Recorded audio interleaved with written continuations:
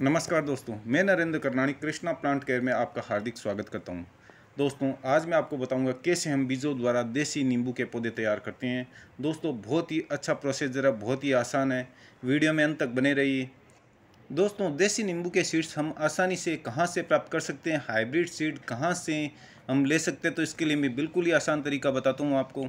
बाज़ार से आप कोई भी नींबू के जो आप क्वालिटी आप पसंद करते हो, उस क्वालिटी के नींबू ले आइए और दोस्तों उसके सीड्स निकाल लीजिए। उसके सीड्स निकालने के बाद में दोस्तों आपको पाँच दिन के लिए इसको छाया में सुखाना है। दोस्तों जो ये आप सीड्स देख रहे हो, मैंने पाँच दिन पहले ही निकाले थे और छाया में सूखे हुए थे। अब दोस्तों इसके अंदर में अच्छे से चुनाव करूँगा। जो जो छोटे सीड्स होते हैं, उनको बिल्कुल ही नहीं लगाया जाता। सारे के सारे दोस्तों इसको फेंक देते हैं और जो अच्छे सीड्स होते हैं, जो मोटे होते हैं, उनको हम रख लेंगे। इन सीड्स का रिज़ल्ट दोस्तों हमारे को हंड्रेड परसेंट मिलेगा। अब दोस्तों मिट्टी की बात करते हैं तो मिट्टी के लिए दोस्तों आप कोई भी मिट्टी ले सकते हो, इसके अंदर सीड्स के अंदर कोई दिक्कत नहीं होती। मैं पुरानी थैली ले रहा हूँ जिसके अंदर दोस्तों पौधे जो ख़राब हो गए थे, वही थैली ले रहा हूँ। अगर आप मिट्टी बनाना चाहते हो तो कोई भी सैंड ले सकते हो उसके अंदर। आप बीस परसेंट के करीब कोई भी कंपोस्ट डाल सकते हो। और दोस्तों फिर एक एक सेंटीमीटर गहराई पे इस सीड्स को लगाते रहेंगे। इन सारी थैलियों को दोस्तों हमारे को सेमी सेड एरिया के नीचे ही रखना है। और पानी की बात करें तो दोस्तों इसको हमारे को अब गीला ही रखना है जब तक इसके सीड्स स्प्राउट नहीं हो जाते। नींबू के साथ दोस्तों आप चाहे तो अमरूद के भी सीड्स लगा सकते हो, अगर आपके पास है, अनार के भी लगा सकते हो। अनार भी आप बाज़ार से ला के पाँच दिन के लिए सुखा लीजिए और आराम से इसको लगा सकते हो।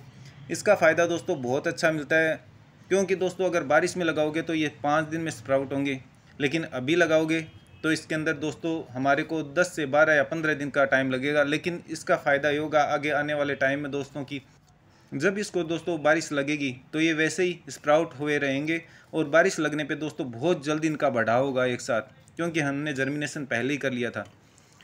अब दोस्तों इसको अच्छे से पानी देंगे। पानी दोस्तों इसको भरपूर देना है ताकि थैली नीचे तक गिली हो जाए। एक बार नहीं, दो बार, तीन बार करके देना है। चाहे तो दोस्तों आप इसको गमले में भी लगा सकते हो। आराम से तैयार कर सकते हो। अब दोस्तों मैं आपको पंद्रह दिन बाद का रिज़ल्ट दिखाता हूँ। ये दोस्तों पंद्रह दिन बाद में सीडलिंग का रिज़ल्ट है।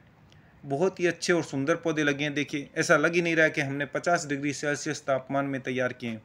और सारे के सारे अप्रोक्सीमेट आप नाइन्टी नाइन परसेंट रिज़ल्ट कह सकते हो। बहुत ही अच्छे पौधे और ये दोस्तों पंद्रह दिन बाद का रिज़ल्ट है। तो इस प्रकार दोस्तों, आप आराम से घर पे अभी इस गर्मी में 50 डिग्री सेल्सियस के आसपास तापमान है, उसमें आप आराम से पौधे तैयार कर सकते हो। दोस्तों, सीडलिंग का फ़ायदा ये होता है कि जो हमने सीड्स लिए हैं, जिस टाइप का हमने नींबू लिया है, फल जो लगेगा, पौधा बड़ा होने के बाद में वही लगेंगे।